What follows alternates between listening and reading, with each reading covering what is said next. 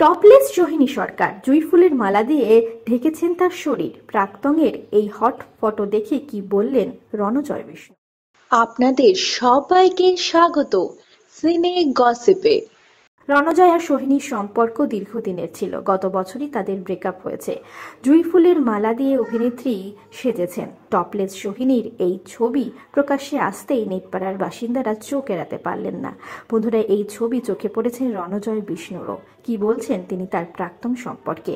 জুঁই ফুলের মালা দিয়ে সেজে উঠেছেন সোহিনী সরকার। টপলেস তার এই সৌন্দর্য দেখে অনেকেই তার প্রশংসা করেছেন। ছিমছাম মেকআপে দেখা গেল অভিনেত্রীর শক্তিশালী নজর।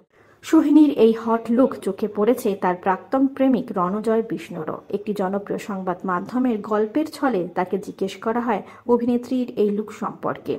রণজয় সাফ জানিয়েছেন, দারুণ সুন্দর দেখতে লাগছে সোহিনীকে। বাইশে মার্চ ছিল রণজয়ের জন্মদিন। সেই দিন তিনি এক মাস পর চোখ রাখলেন সামাজিক মাধ্যমের পাতায়। বেশ কিছুদিন ধরে তিনি বিরতি নিয়েছিলেন সামাজিক মাধ্যম থেকে। তার অন্যতম কারণ, সোহিনীর সঙ্গে সম্পর্ক ভাঙার পর বেশ কুমন্তব্যের সম্মুখীন হতে হয়েছিল তাকে সামাজিক মাধ্যমে। অভিনেতা এই বিষয়টিকে টক্সিক বলেই মনে করেন। তার কথায়, সবটাই তো মিথ্যে, কিছুই তো সত্যি নাই দুনিয়াটায়। আমার টিম আছে, ওরা দেখে, কিন্তু আমি চোখ পাতি না, আমার মোটেও ভালো লাগে না।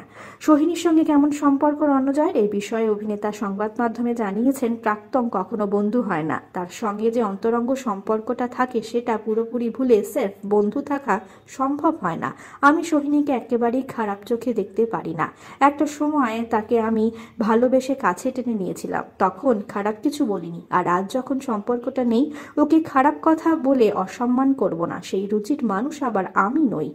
আমি ওর ভালো চাই। ওর সঙ্গে কথা হয় না আর আমার। কিন্তু দেখা হলে নিশ্চয়ই কথা বলব। বলিও, ভবিষ্যতে আমাদের কি ধরনের রসায়ন হবে জানি না। কিন্তু একটাই কথা বলতে চাইব, আমি সব দিক থেকে ওর শুভাকাঙ্ক্ষী। আর ট্রোলারদের বলব, নোংরামি বন্ধ করুন। বিনোদন জগতের আরও অনেক খবর নিয়ে ফিরছে, জুড়ে থাকুন আমাদের সঙ্গে। আমরা হলাম সিনে গসেপ। জুড়ে থাকুন আমাদের সঙ্গে। সাবস্ক্রাইব করুন আমাদের এই ইউটিউব চ্যানেলটি।